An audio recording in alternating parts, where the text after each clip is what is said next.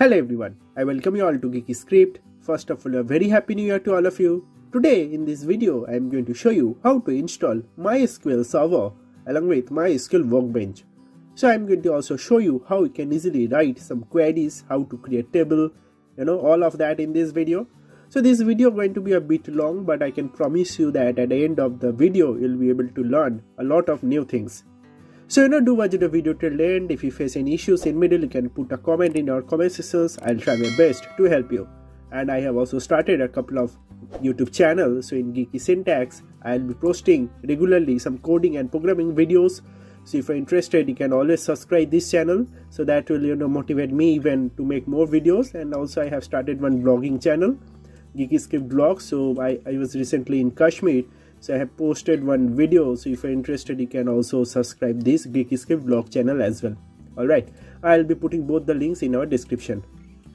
So now for mysql server you need to just simply go to a new tab and just simply type over here mysql download and hit enter.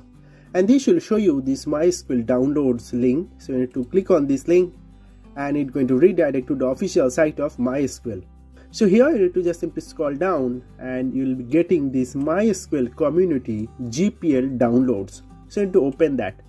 And when you click on that, it's going to redirect to this MySQL community downloads. So here you need to click on this MySQL installer for Windows.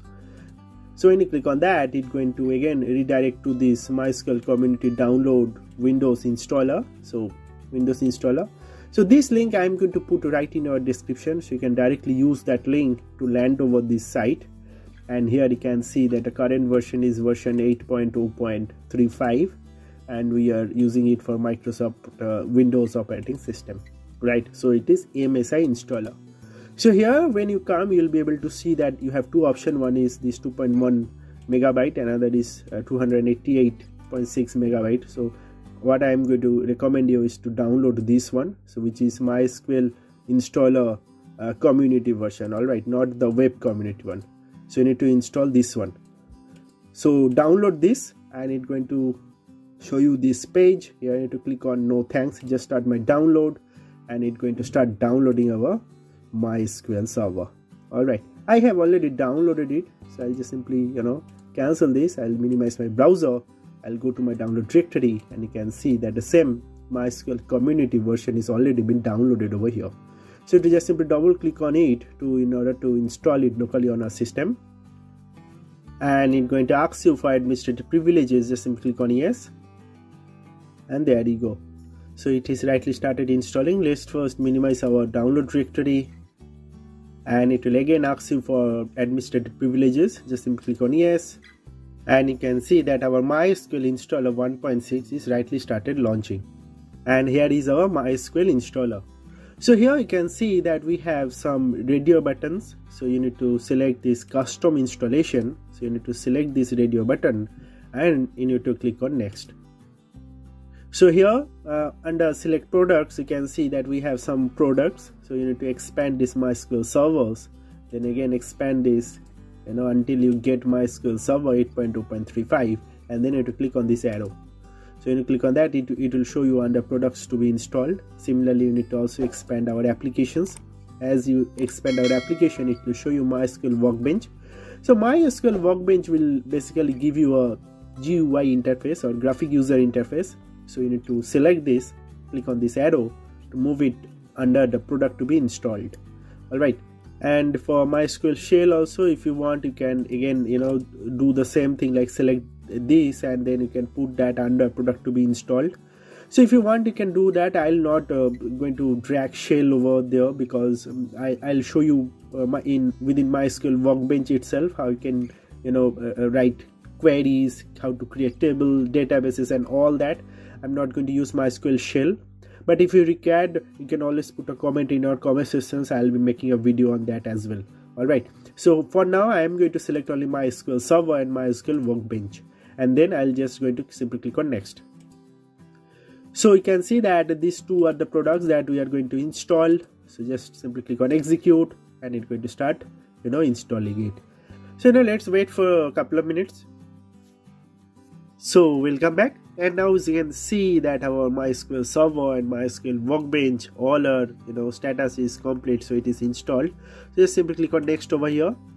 And uh, now it's time to configure so it's telling ready to configure. Click on next. So here you can see that our tcp ip then the port is uh, uh, double three oh six. So this is very important. So this is uh, the port that uh, we use to communicate with our mysql server. All right so remember this port. And uh, all other thing you can keep this default uh, this name pipe name and the you know shared memory name all are mysql. You can remember this. You will not need these are advanced stuff. All right so only thing that will need is the port number. So remember the port number for now. And click on next. And now it's telling that uh, use a strong password which is fine. Just simply click on next so let's give the password over here. So i'll give one password and i'll repeat that same password over here. I'll simply click on next. So password is weak which is fine.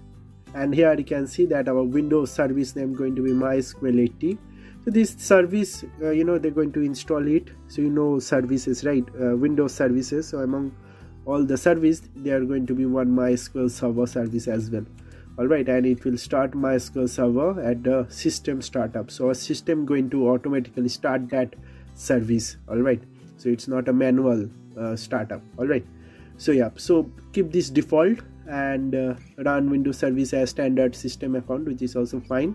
Just simply click on next and it is telling yes grant full access to user running the windows service is applicable and uh, administrative group only. So as i just told you it is uh, you can just leave it for the windows uh, you know automatic windows service.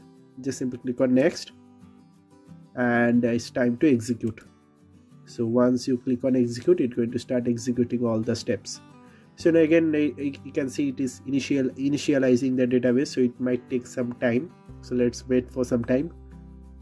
So welcome back once again guys. So now i can see that our configuration for mysql server 8.2.35 was successful. So you can just simply click on finish over here. And uh, you can just simply click on next now. So now that uh, start mysql workbench after setup is rightly selected just simply click on finish to launch our mysql uh, you know workbench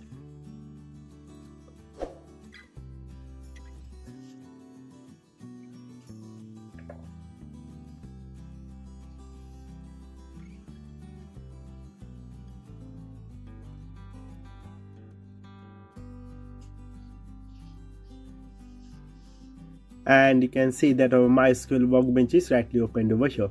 So let's you know click on this local instance of MySQL 80. So here you need to repeat that same password. So whatever password you have given during installation, you need to give that same password. Click on save password in Vault so that you don't need to you know type the same password again and again, and click on OK. And it's going to start you know uh, launching our MySQL workbench so there you go. You can see it is now properly opened right? So our query window is also open.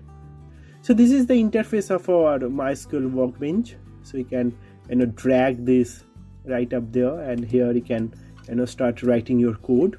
So the first thing that i'm going to do is i'm going to create a database first. So i'm going to write create database and i'm going to give the name uh, database name as players.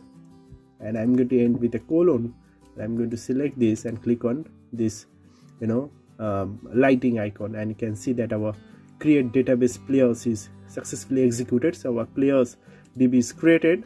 So let's create a table. So create table cricketers. And then you need to provide you know bracket. And within bracket you need to provide the columns name. Let's give the column uh, column name as player id and I'm going to give the data type as int. And next column probably I'll give name. And I'll give varchar.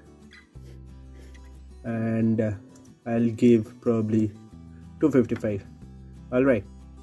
So only I'm going to keep only these two you know column player ID and just player name. So I'm going to select this and click on this lighting icon and you can see that it is showing some error. So error is no database selected so fine you need to give a player's name i mean a uh, database name. So players dot cricketers now if you select and click on the run button you can see that our table is now created right? So now it's time to insert you know some data in our table. So insert into you know players dot cricketer then we need to provide the column name which is player id comma name. And then values. And let's give the value you know as first will be one. And let's give a player name. We'll give Rohit Sharma. And I'll just simply end with a colon and I'm going to select this and I'm going to click on this lighting icon again. And you can see one row affected so one data is inserted. Similarly if you want to insert one more so you can just simply select and click on you know uh, just repeat the same. And let's give the player name as Virat Kohli. Alright and you can select this. And you can click on this lighting icon. You can see it is you know properly inserted. You can do select star from players dot cricketers. And with colon and you can again select this. And you can see the output right? Rohit Sharma and Virat Kohli is coming up up up there.